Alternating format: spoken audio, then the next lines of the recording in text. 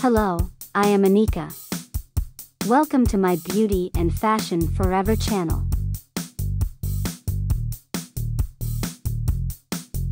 A typical summer in Korea is hot, humid, and rainy. The temperature often reaches 30 degrees Celsius 86 degrees Fahrenheit or higher, and the humidity makes it feel even hotter. The rainy season, called Jangma, starts in late June and lasts until August. It rains almost every day, sometimes very heavily. Sometimes, typhoons can also hit Korea, bringing strong winds and more rain.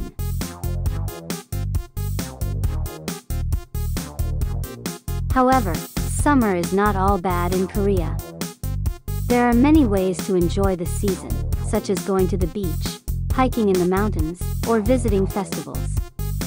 The beaches are popular destinations for locals and tourists alike, especially on the south and east coasts. The mountains offer cooler and fresher air, as well as beautiful scenery. Festivals are held throughout the country, celebrating various aspects of Korean culture, such as music, food, art, and history. Summer in Korea can be challenging, but also rewarding. It is a time to experience the diversity and vitality of this country.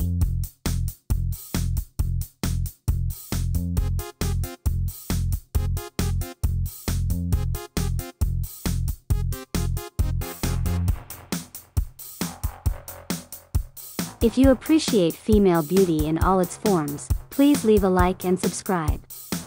You won't regret it.